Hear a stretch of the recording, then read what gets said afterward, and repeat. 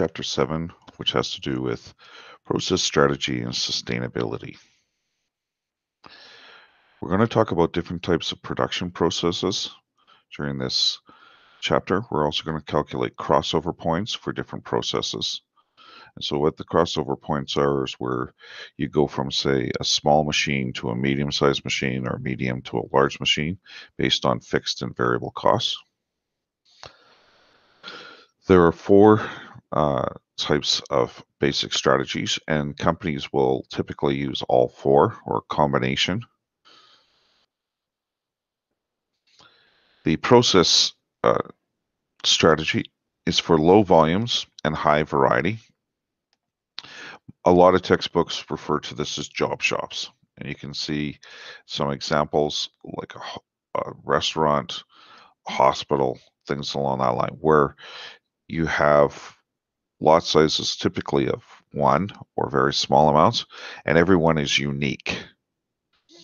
You then have a repetitive process, and I think the best way to understand this would be things like making automobiles, as you can see, motorcycles like Harley Davidson, Kawasaki, Suzuki for their motorcycles. Product focus is where you have a combination of higher volumes and there is some uh, some differentiation. Again, I think best to understand this is you can see like a bakery where they would make batches of buns or bread or things along that line. Beer, so like Big Rock Breweries would be a good example in Calgary. Frito-Lay, where they would make potato chips, but they have different types or uh, seasonings.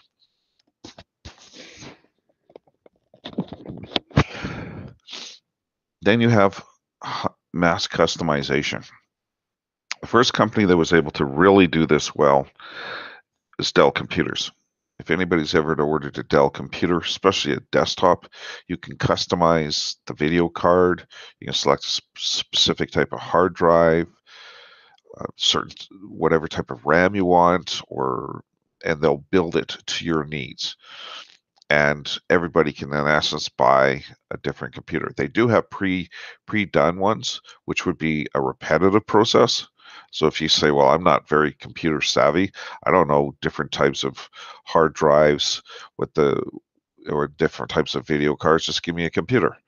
Then that would be a repetitive process. So they have that, but you can also go in and be very specific if you want a certain type of RAM, like I said, even certain uh, different manufacturers of different uh, hard drives. So, and that's very difficult to achieve. Uh, the automotive industry has been literally trying for decades to do that and is yet to achieve that, where you can actually order something and get it quickly and at no really additional cost. Nike has got very close to that. You can go in and make your own custom shoes on their website. You can scan logos or graphics and they'll put them on the shoe for you and they'll deliver it fairly quickly. I think it's three weeks or so. And it's not like it's triple the price. There is a bit of a premium for that, but it's, uh, I think it's like 20% more, something along that line. But it gives you great flexibility. I'm going to focus more on, there's a table coming up. I'm going to go over that. So I'm not going to uh, go into more detail about process strategy, etc. So I'll, when we have the table coming up, I'll focus on talking about the different fixed and variable costs, skill levels of your workers, etc. And again, you don't have to use either process or repetitive. Within your organization, you can do both or all four. All right. So I'll skip ahead here. I'll let you have a chance to read that at your leisure. This is the table that I was referring to, and I'm not going to go through. I'm fairly sure there are 10 uh, rows. I've already talked about uh, row number one, where the process uh, strategy is to have low volumes but very high variety. And the other extreme is you have high volume, but in this case also have high variety. And the two in the middle are mixtures. So it's a spectrum, as you'll see. from say low variety to high variety, things along that line. Low volume to high volume. That's the biggest difference in row number one. You go from low volume on the left to high volume on the right. Equipment. The equipment, when you have high variety, needs to be general purpose equipment. So uh, something that I'm fairly sure you have in your home would be a screwdriver. A screwdriver can be used for a multitude of things depending on the tip.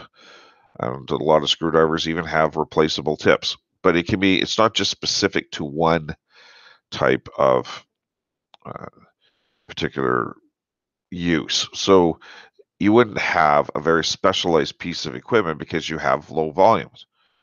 So because it's only good at doing one thing. Now on mass customization, you have a product that has rapid changeover. I saw a piece of equipment one time. It was it had different drill bits on the end of it. I believe about 38, if I remember correctly.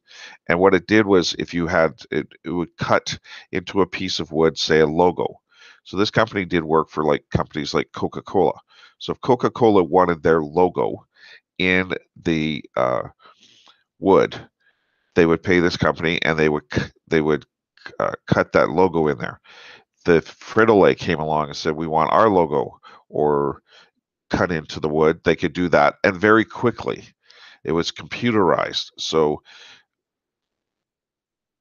your computer is has rapid changeover. So an example of of piece of equipment that has quick changeover is your computer because you can quickly go between Word, PowerPoint, go on the internet, etc. Now, in row number three, you need operators that are very broadly skilled because they need to be able to do a variety of things. So an example could be a mechanic. A mechanic can do an oil change. Then the next job is changing brake pads. Then the next job is changing transmissions, etc. Now, when you have products that are much more standardized, you don't need somebody who can do a multitude of things even with instructors, we have some instructors who can teach accounting, finance, supply chain, statistics, a wide variety. Even though those instructors don't get paid more, there's usually a lot more work for them, as opposed to some instructors who can just teach like intro financial accounting. They can't even teach managerial accounting. So you want flexibility with your workers.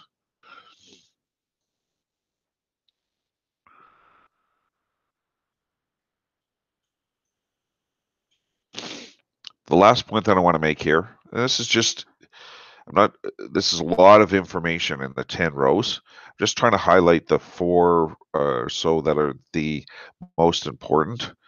And you just have to get a feel for it. It's not going to specifically ask you like row number eight, repetitive process. Just get a sense of how they're different. Row number 10, fixed costs. With the process, which is also, like I said earlier, very much known as a job shop, you have low fixed costs and high variable costs. And with the other end of the spectrum, the mass customization, you can have fairly high fixed costs, which would be a lot of equipment, but you then get low variable costs. And that's going to be a major theme of this chapter where in one case you might have high fixed costs, you better have low operating costs, also known as variable costs. Then you also have a situation where it has low fixed costs, but your operating costs can be higher. A specific example would be photocopiers. You have a small photocopier, so it has low fixed cost, but to print on it is more expensive because it doesn't have a high volumes like economies of scale. So that would be an example of where you'd have low fixed costs but high operating costs.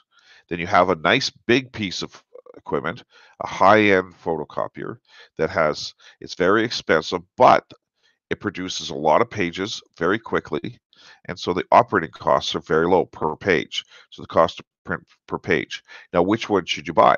It depends on your volumes. If you're a small little business, you don't print a lot, then you would probably select low up, low fixed costs and deal with the fact that your cost per page is higher.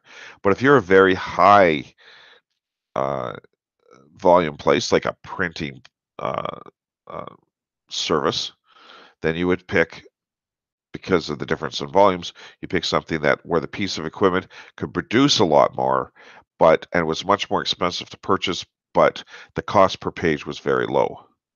And we're going to go through several examples from chapter number seven to actually calculate those numbers.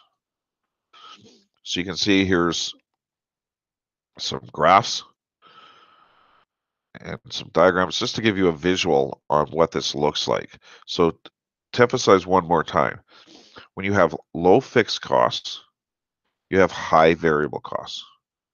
When you have high fixed costs, you better have low variable costs. So you can see the blocks at the bottom of the crossover charts are the fixed costs. The slope of the line is the variable costs. Because if you had something that had high, high fixed costs and high variable costs, why bother? Right? So, and it depends on the volumes. As you can see when the, in the lower ch chart where there's crossover points, and we will use the software for calculating that. Sustainability. The four R's, resources, recycling.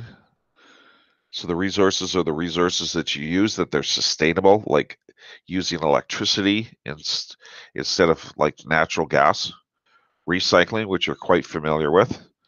So even cars get recycled regulations, following regulations for pollution or discharge of your waste. And then, of course, even your, your reputation. In today's world, you do not want to get a reputation for being a polluter or not uh, ethically sourced. Organizations are very much pushing that. Starbucks was one of the first companies that I'm aware of in the uh, for coffees they would pay the people, the coffee producers, the people who grew who grow the beans, they would pay them a livable wage.